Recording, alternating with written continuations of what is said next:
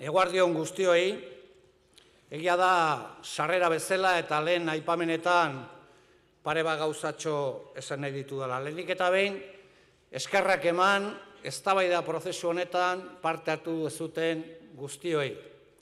Ez da erretza jendarte likidoak bizi ditugun garai hauetan konprometitzea, eztabaidatzea, herri konpromisoari lotzea, Baina jakin badakigu ere, aspalditik Euskaldunak eta munduko beste herri batzuk ere, kompromisori gabe ez dagoela askatasunik, kompromisori gabe ez dagoela jendarte alternatiboa eraikitzerik, eta beraz, lehenik eta behin, mila esker oraindik ere frogatzen duzutelako, herri txiki honetan, oraindik ere, milaka eta milaka militante eta pertsona gaudela, Euskal Herria askatu nahi dugunak, sozialismoa eraiki nahi dugunak, eta jendarte parekide bat lortu nahi dugunak. Bigarrenik, naziartekoei nire agurrik beroena egin nahi diet, guztiei, gero aipamenak egingo ditut nire interbentzioat, pero sí quiero hacer una especial mención a los compañeros que representan a la Andalucía jornalera, a los compañeros que representan la Castilla comunera y a los compañeros que representan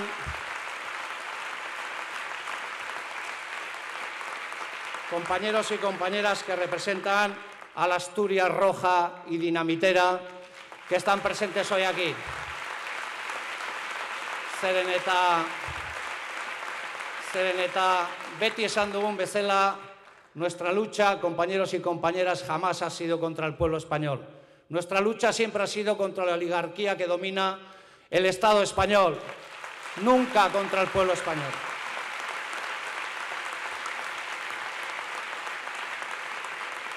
Bi aipamen egin nahi ditut ere, hasi baino lehenago, lehenik eta behin, Sara eta Izar gogoan daukagu ezkerra ideologia da, baina ezkerra emozioa da baita ere, eta beraz, bereiekin batera euskal preso politiko, erbesteratu eta deportatu guztiei. Eta nire bigarren aipamena Irlandara joan nahi da. Lehen ikusi dezue argazki batean Marti Maginesekin nengoela. Martik esan du ez dela berriz ere aurkeztuko hauteskundetara, badakit osasun arazotxo batzuk ere badituela, baina badakik errepublikarrak eta badakit movimendu errepublikarrak baduela adorea eta konbenzitutan nago Marti orain, orain ere beste trintxera batzutan ere gogorran egingo dula, inongo zalantzarik gabe, Irlandaren batasunaren alde eta Irlandarren askatasunaren alde. Beraz, bihotz bihotzetik, Marti, agur bero bat Euskal Herritik.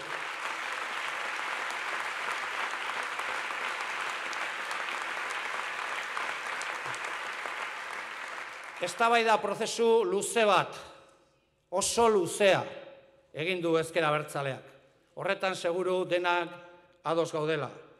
Baina beharrezkoa zen eztabaida prozesu bat egin dugu guztiz beharrezkoa. Eta gu beti pentsatu izan dugu, lehenik eta behin, prozesu horrek lehen galdera bati erantzun behar ziola. Eta bergogoratu behar zuela, inongo zalantzari gabe, zergaitik independentismoak, zergaitik ezkerreko independentismoak aldatu zuen bere estrategia. Garai batean esaten genuen eta komenigarria da berriz ere bergogoratzea. Estrategiaren aldaketaren arrazoiak asko izan ziren. Besteak beste usten genuela Euskal Herrian borroka luze baten bidez, antolakuntzaren bidez eta lan izugarriaren bidez, bazirela aukera eta baldintza nahikoak, urrats kualitatiboak, urrats estrategikoak emateko askatasun nazionalean eta askatasun sozialean. Eta hori izan zen arrazoirik printzipalena. Bigarrenik, komprobamos que numerosas estrategias político-militares que se estaban desarrollando en el planeta, fundamentalmente en América Latina, se estaban convirtiendo en estrategias de masa democráticas, populares, anticapitalistas, que lo que buscaban era conformar grandes mayorías. Y eso dio paso a un ciclo en el que la izquierda alcanzó muchos gobiernos en América Latina. Por eso ahora quiero aprovechar la ocasión para saludar al Frente Farabundo Martí de Liberación Nacional, que cumple 25 años de sus acuerdos de paz, quiero saludar a los compañeros y compañeras de Colombia y quiero volver a reiterar el apoyo al proceso de paz en Colombia, el apoyo al FMLN y el apoyo a que ahora se construyan negociaciones con el ENE en Quito. Estamos con vosotros y vosotras, os apoyamos. Eta gogorapen bat egin nahi dut, internazionalismoari buruz hitz dugun horretan. Gaur gogora ekarri nahi dut, Euskal Militante Internacionalista bat, Pakito Arriaran, FMLN-eko FMLN-eko borrokan eroritakoa. Quiero hoy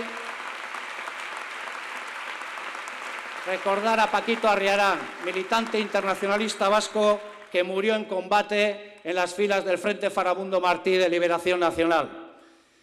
Irugarrenik, estatu berrien sorrerarako esaten genuen aukerak bazeudela, orduan esaten genuen, oain dala sortzi urte, eta sortzi urte hauek frogatu dute hori horrela izan dela, eta hor daukagu Eskoziako kasua, Flandesekoa, eta baitare Kataluniakoa ere bai, eta horregaitik neragurri beroenak eman nahi dizkiot ere bai herri katalanei. Beraiek esan dute gutatik asko ikasi dutela eta gu konfesatu behar dugu zuengatik asko ikasteko daukagula. Herri honek bigarren frentea martxan jarri behar du, herri honek independentzirako prozesu unilaterala martxan jarri behar du. Esaten genuen ere bai, bazegoela herri honetan PNB-ko ezkerrera eta UPN-eko ezkerrera bloke herrital sozial langile bat, kapaz zela alternatiba berreraiki eta alternatiba berritu bat martxan jartzeko. Eta hori horrela frogatu izan du da, hauteskunde ezberdietan, batzutan gehiago eta batzutan gutxiago.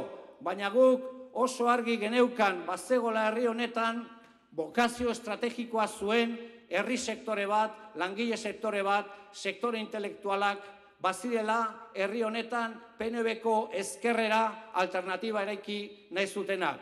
Eta beraz gaur ere hemen nire eskerrak eman nahi dizkiok EH Bildu konformatzen duten alderdi politiko eta sektore independientei.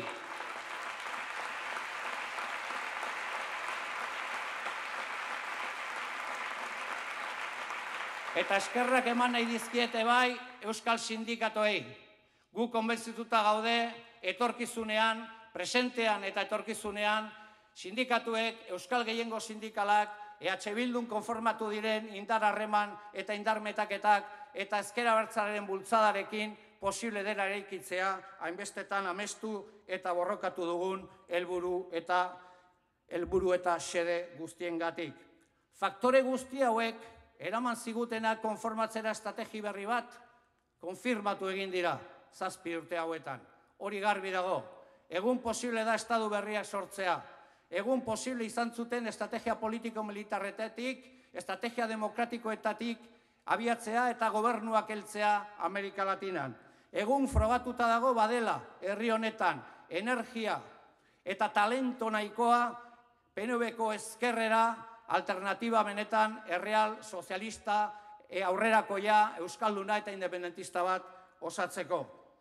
Hori horrela da, baina ez genituen gauza guztiak ongi egin. Ez genituen gauza guztiak ongi egin. Eta hori ere onartu egin behar dugu. Askotan aipatu izan dugu, ero batzutan aipatu dugu, zer dan gertatu izan dena. Zeintzuk izan diren akatsak, eta nik labur baldin bada ere gogoratu nahi ditut. Guk uste dugu estrategia aldatu zenean, faktore batzuk ez genituela kontuan hartu. En primer lugar, el impacto de la crisis económica. Un impacto que todavía persiste y que ha venido para quedarse. Jendearen lehentasunak aldatu egin ziren garai haietan. Eta gu gure agenda propiarekin erantzun genion jendeari, jendeak agendan lehentasunak beste batzuk zituenean. Eta krisi ekonomiko eta finanzieroak sortutako hainbat kalte ekonomiko, sozial, emozionalak gelditzeko etorri dira. Ez dira berriz ere joango hemen bada momentu honetan oso azterketa sakon egin beharrekoa. Gizartea eta jendarte aldatu duen krisi ekonomikoa izan du da. Eta hori kontuan hartu behar dugu. Bigarrenik, paradoja batean bizi izan genuen gure instituzioetako asaltoa. Espreski jendea instituzioak zalantzan jartzen zitun momentu horretan tokatu zitzaigun sekulako boter instituzionala. Tanik honen inguruan bi gauza esan nahi dizuet lan instituzionala guztiz beharrezkoa da. Eta nik beti egin dut eta gaur ere egingo dut. Ni nire omenik haundien egiten diot ezkera bertzalean urteetan zehar lan instituzionalean ibili den jendeari. 40 años gestionando grandes instituciones del país desde la izquierda independentista, desde grandes ayuntamientos a pequeños ayuntamientos. Cero casos de corrupción en la gestión de la izquierda independentista. Y yo estoy muy orgulloso de eso.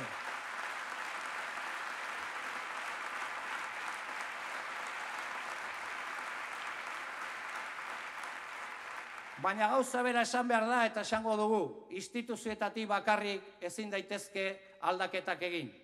Instituzioa lagungarria dira, baina ez dira vanguardia. Los cambios no se hacen desde el boletín oficial del Estado. Los cambios se operan en la mente de la gente. Y para cambiar la mentalidad de la gente hay que trabajar, hay que hablar, hay que convencer y hay que saber escuchar. Porque nuestro proceso de liberación nacional y social depende de que convenzcamos a una mayoría social y popular del país de que el nuestro es el proyecto que les conviene. No se pueden hacer revoluciones desde arriba ni desde las instituciones. Las instituciones no son la vanguardia del proceso de liberación nacional, son la retaguardia del proceso de liberación nacional. Primero los cambios operan en la gente, en las hegemonías ideológicas y en las hegemonías culturales. Y después vienen las instituciones a ponerle sello al cambio que ya se ha producido en las masas populares o en la gente. Eta ere aritu. Justuki pentsatzen genuenean gauzak ireki behar zirela eta beste modu batetara egin behar zirela. Akats asko egin genituen, baina baita ere gauza asko oso ondo egin genituen. Eta nik honetan tartetxo hau, ero fase hau bukatzeko nire diskursoan, gauza honak eta txarren artean gauza honekin gelditzen naiz. Eta horregaitik, garai haietan egondako zuzendaritza omendu nahi dut momentu honetan. Nik uste dut oso komenigarria dela jendeari esatea gauza gaizki egiten duenean gaizki egiten dituela. Baina oso komenigarria da ere jakitea jendeak bere onena jarri zuela momentu zail batean gauzak egiteko. Denok egiten ditugu gauzak ongiero gaizki, baina gu ez gera alderdi burges eta konvenzionalak bezalakoak. Gureak ados egon, ero ez egon, akatsak izan daitezke, baina guk denak burkidetzat hartzen ditugu. Eta horregatik ni gaur, omen hori egin nahi diot lehengo zuzendaritzari.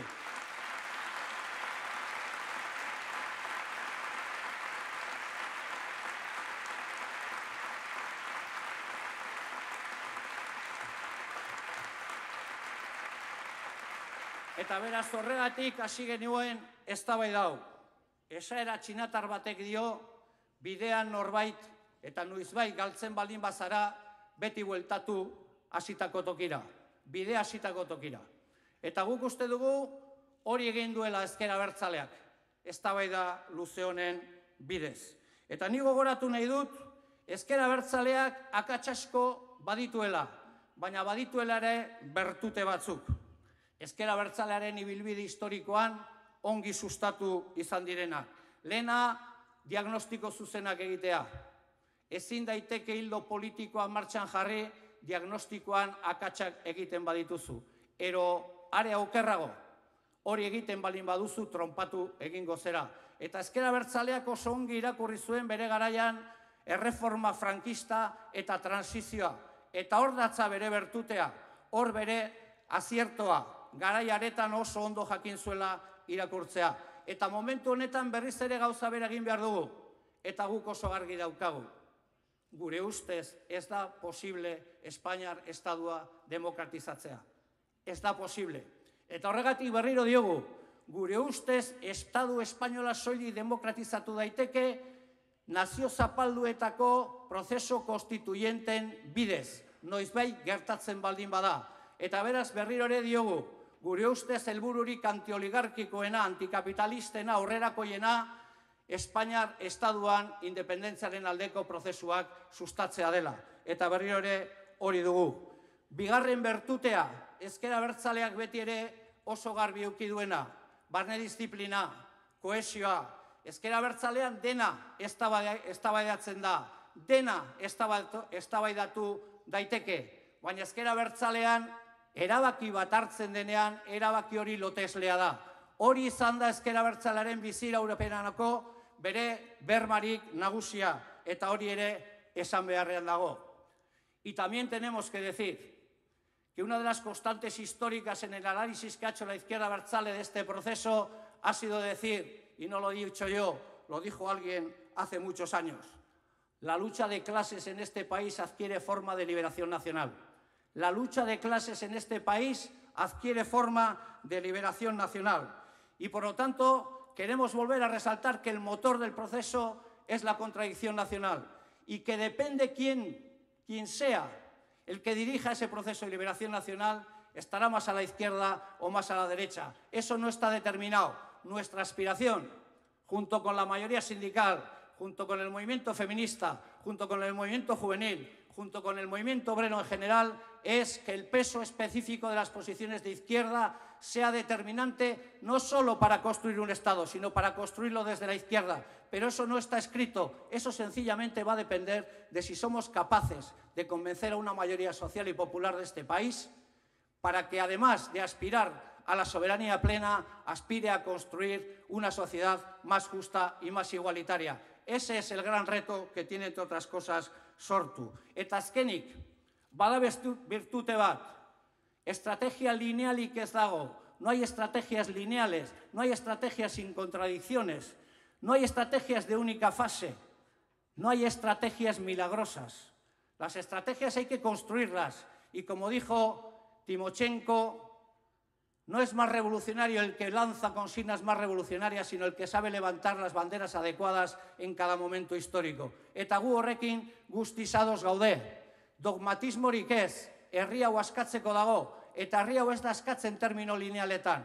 Herri honek kontrasan handia ditu, baina sekulako indar eta energiak ere baditu. Eta beraz, guk edozein momentuetan ongi irakurri behar ditugu zeintzu diren aukerak eta zeintzu diren arriskuak. Hor datza, gure etorkizunerako berma eta hor datza arrakastarako berma bat. Por lo tanto, vamos y hemos concluido este proceso de debate y ya era hora, se nos ha hecho muy largo. Todo el mundo nos dice que hay que empezar a trabajar y lo primero que tenemos que hacer ahora es reorganizar los pueblos y barrios. Tenemos desde febrero a junio para hacer eso, para trasladar el proyecto político y el espíritu que aquí hemos planteado a los pueblos y a los barrios. Y tenemos muchos retos por delante. El primer reto es cerrar la fase anterior, cerrar todas las consecuencias del conflicto. Ese es el primero de los grandes retos. Y tenemos que recuperar todavía con mayor intensidad el espacio de la lucha por la libertad de los presos, la vuelta de deportados y refugiados. Esa es nuestra responsabilidad y tenemos que recuperar el discurso integral de la desmilitarización, porque se ha avanzado mucho en ese tema, pero a veces se confunden los términos, porque para Sortu, para Sortu, esta es una pequeña y vieja nación de Europa que tiene derecho a vivir sin presos políticos y sin fuerzas de ocupación. Esa es también una de nuestras reivindicaciones históricas que tenemos que volver a poner encima de la mesa.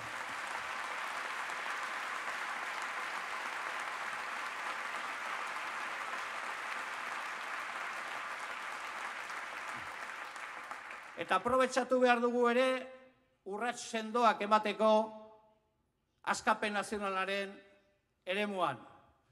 En la historia de este país, lo decía el otro día, me lo decía el otro día Floren, hay veces en las que la historia plantea dinámicas centrífugas y otras centípetas, centrípetas.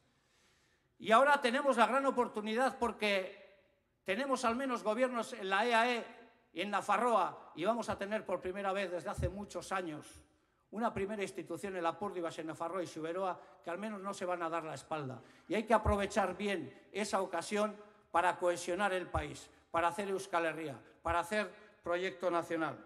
Y vamos a aprovechar la ocasión de la grave crisis que atraviesa el régimen del 78 para plantear con claridad saltos en Nafarroa y saltos en la EE, saltos en Euskal Herria, en definitiva, para conformar un estatus político nuevo que a nosotros y a nosotras decodificamos como un Estado para los vascos y para las vascas. Y alguien decía el otro día que es el momento de llegar a grandes pactos en temas y en cuestiones como el avance en términos nacionales.